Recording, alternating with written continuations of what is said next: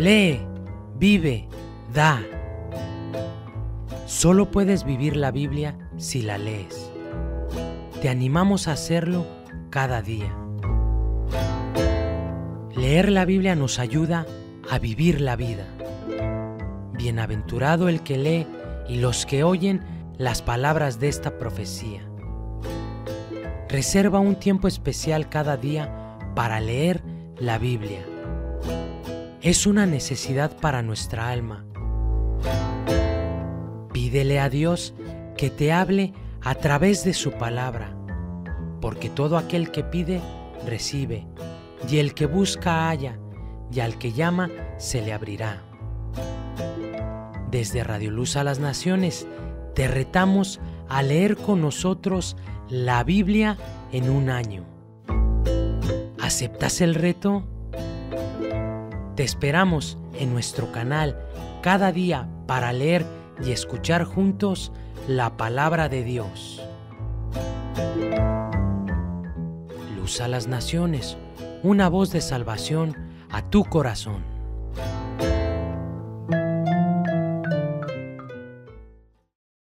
San Lucas 8 Atemorizados se maravillaban y se decían unos a otros, ¿quién es este que aún a los vientos y a las aguas manda y le obedecen? Arribaron a la tierra de los Gadarenos, que está en la ribera opuesta a Galilea. Al llegar en la tierra, vino a su encuentro un hombre de la ciudad, endemoniado desde hacía mucho tiempo, y no vestía ropa, ni habitaba en casa, sino en los sepulcros. Al ver a Jesús, lanzó un gran grito y postrándose a sus pies, exclamó a gran voz. ¡Ah! ¿Qué tienes conmigo, Jesús, Hijo del Dios Altísimo? Te ruego que no me atormentes. Porque Jesús le ordenaba al espíritu impuro que saliera del hombre, pues hacía mucho tiempo que se había apoderado de él, y le ataban con cadenas y grillos, pero rompiendo las cadenas, era impelido por el demonio a los desiertos. Jesús le preguntó, ¿Cómo te llamas? Él dijo, Legión, porque muchos demonios habían entrado en él y le rogaban que no los mandara al abismo. Había allí un hato de muchos cerdos que pasían en el monte, y le rogaron que los dejara entrar en ellos. Él les dio permiso. Entonces los demonios salieron del hombre y entraron en los cerdos, y el hato se precipitó por un despeñadero al lago y se ahogó. Los que apacentaban los cerdos, cuando vieron lo que había acontecido, huyeron y dieron aviso en la ciudad y por los campos, y salieron a ver lo que había sucedido. Vinieron a Jesús y hallaron al hombre de quien habían salido los demonios sentado a los pies de Jesús, vestido y en su cabal juicio, y tuvieron miedo. Los que lo habían visto les contaron cómo había sido salvado el endemoniado. Entonces toda la multitud de la región alrededor de los Gadarenos le rogó que se marchara de ellos, pues tenían gran temor. Entró pues Jesús en la barca y se fue. El hombre, de quien habían salido los demonios, le rogaba que le dejara quedarse con él. Pero Jesús le despidió diciendo, Vuélvete a tu casa y cuenta cuán grandes cosas ha hecho Dios contigo. Él entonces se fue, publicando por toda la ciudad cuán grandes cosas había hecho Jesús con él. Cuando volvió Jesús, le recibió la multitud con gozo, pues todos le esperaban. Entonces llegó un hombre llamado Jairo, que era un alto dignatario de la sinagoga.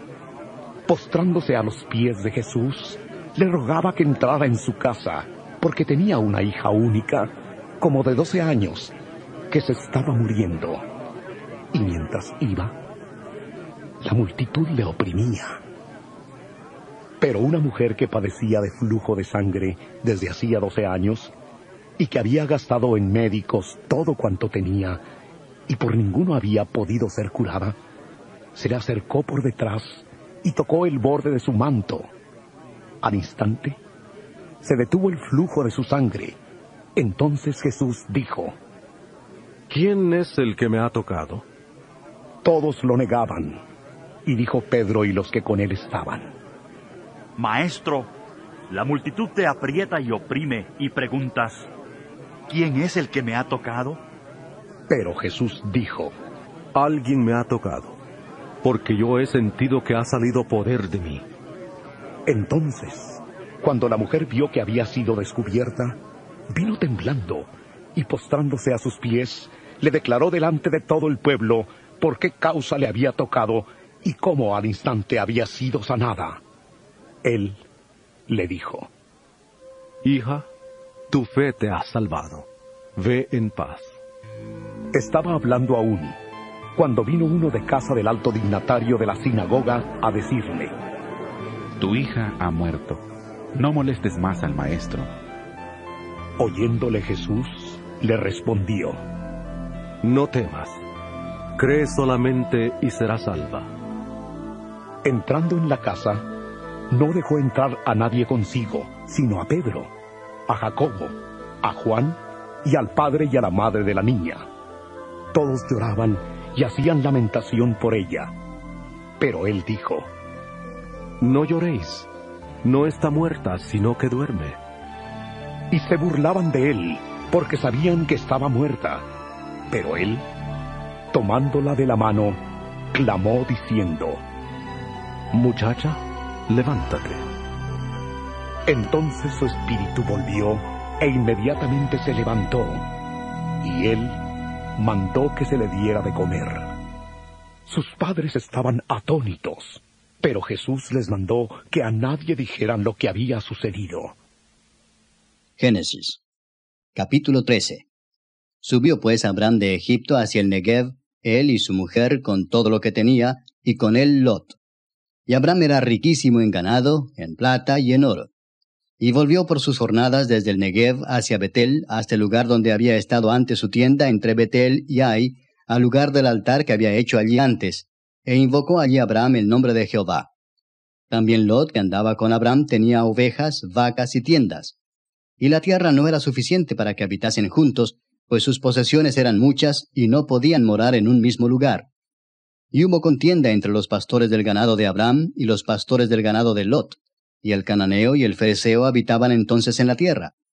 Entonces Abraham dijo a Lot, No haya ahora altercado entre nosotros dos, entre mis pastores y los tuyos, porque somos hermanos. ¿No está toda la tierra delante de ti? Yo te ruego que te apartes de mí. Si fueres a la mano izquierda, yo iré a la derecha, y si tú a la derecha, yo iré a la izquierda. Y alzó Lot sus ojos y vio toda la llanura del Jordán, que toda ella era de riego, como el huerto de Jehová, como la tierra de Egipto en la dirección de Zoar, antes que destruyese Jehová a Sodoma y a Gomorra. Entonces Lot escogió para sí toda la llanura del Jordán, y se fue Lot hacia el oriente, y se apartaron el uno del otro. Abraham acampó en la tierra de Canaán, en tanto que Lot habitó en las ciudades de la llanura, y fue poniendo sus tiendas hasta Sodoma. Mas los hombres de Sodoma eran malos y pecadores contra Jehová en gran manera. Y Jehová dijo a Abraham después que Lot se apartó de él, Alza ahora tus ojos y mira desde el lugar donde estás hacia el norte y el sur, y al oriente y al occidente. Porque toda la tierra que ves la daré a ti y a tu descendencia para siempre. Y haré tu descendencia como el polvo de la tierra, que si alguno puede contar el polvo de la tierra, también tu descendencia será contada. Levántate, ve por la tierra a lo largo de ella y a su ancho, porque a ti la daré. Abraham pues, removiendo su tienda, vino y moró en el encinar de Mamre, que está en Hebrón, y edificó allí altar a Jehová. Capítulo 14 Aconteció en los días de Amrafel, rey de Sinar, Arioc, rey de Elázar, Kedorlaomer, rey de Elam, y Tidal, rey de Goim, que éstos hicieron guerra contra Bera, rey de Sodoma, contra Birsa, rey de Gomorra, contra Sinab, rey de Adma, contra Semeber, rey de Seboim, y contra el rey de Bela, la cual es Soar. Todos estos se juntaron en el valle de Sidim, que es el mar salado. Doce años habían servido a Kedorlaomer, y en el décimo tercero se rebelaron. Y en el año decimocuarto vino Kedorlaomer y los reyes que estaban de su parte, y derrotaron a los refaitas en Astarot Carnaim, a los susitas en Am, a los semitas en Sabe Kiriataim, y a los Oreos en el monte de Seir, hasta la llanura de Parán, que está junto al desierto. Y volvieron y vinieron a Enmispat, que es Cades, y devastaron todo el país de los amalecitas, también al amorreo que habitaba en Asesón Tamar. Y salieron el rey de Sodoma, el rey de Gomorra, el rey de Adma, el rey de Seboim y el rey de Bela, que es Soar, y ordenaron contra ellos batalla en el valle de Sirim, esto es contra Kedorlaomer, rey de Elam, Tidal, rey de Goim, Amrafel, rey de Sinar, y Arioc, rey de Elazar, cuatro reyes contra cinco. Y el valle de Sidim estaba lleno de pozos de asfalto, y cuando huyeron el rey de Sodoma y el de Gomorra, algunos cayeron allí, y los demás huyeron al monte. Y tomaron toda la riqueza de Sodoma y de Gomorra y todas sus provisiones, y se fueron. Tomaron también a Lot, hijo del hermano de Abraham, que moraba en Sodoma, y sus bienes, y se fueron. Y vino uno de los que escaparon y lo anunció a Abraham el hebreo, que habitaba en el encinar de Mamre el amorreo, hermano de Escol y hermano de Aner, los cuales eran aliados de Abraham. Oyó Abraham que su pariente estaba prisionero, y armó a sus criados, los nacidos en su casa, trescientos dieciocho, y los siguió hasta Dan. Y cayó sobre ellos de noche, él y sus siervos, y les atacó y les fue siguiendo hasta Oba, al norte de Damasco. Y recobró todos los bienes, y también a Lot, su pariente, y sus bienes, y a las mujeres y demás gente. Cuando volvía de la derrota de Kedorlaomer y de los reyes que con él estaban, salió el rey de Sodoma a recibirlo al valle de Sabe, que es el valle del rey. Entonces Melquisedec, rey de Salem, y sacerdote del Dios Altísimo, sacó pan y vino, y le bendijo diciendo, Bendito sea Abraham del Dios Altísimo, creador de los cielos y de la tierra, y bendito sea el Dios Altísimo que entregó tus enemigos en tu mano. Y le dio a Abraham los diezmos de todo. Entonces el rey de Sodoma dijo a Abraham, Dame las personas y toma para ti los bienes.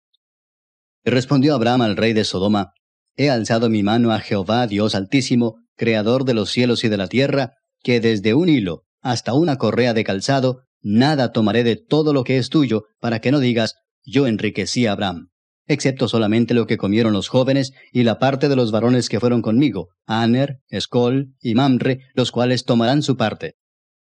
Salmo 7 Jehová Dios mío, en ti he confiado.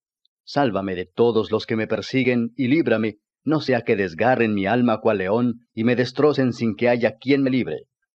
Jehová Dios mío, si yo he hecho esto, si hay en mis manos iniquidad, si he dado mal pago al que estaba en paz conmigo, antes he libertado al que sin causa era mi enemigo, persiga el enemigo mi alma y alcáncela, huelle en tierra mi vida y mi honra ponga en el polvo. Levántate, oh Jehová, en tu ira, Álzate en contra de la furia de mis angustiadores, y despierta en favor mío el juicio que mandaste. Te rodeará congregación de pueblos, y sobre ella vuélvete a sentar en alto. Jehová juzgará a los pueblos. Júzgame, oh Jehová, conforme a mi justicia, y conforme a mi integridad. Fenezca ahora la maldad de los inicuos, mas establece tú al justo, porque el Dios justo prueba la mente y el corazón, mi escudo está en Dios, que salva a los rectos de corazón. Dios es juez justo, y Dios está airado contra el impío todos los días. Si no se arrepiente, él afilará su espada. Armado tiene ya su arco, y lo ha preparado. Asimismo ha preparado armas de muerte, y ha labrado saetas ardientes. He aquí el impío concibió maldad, se preñó de iniquidad, y dio a luz engaño. Pozo acabado y lo ha ahondado y en el hoyo que hizo caerá. Su iniquidad volverá sobre su cabeza, y su agravio caerá sobre su propia coronilla.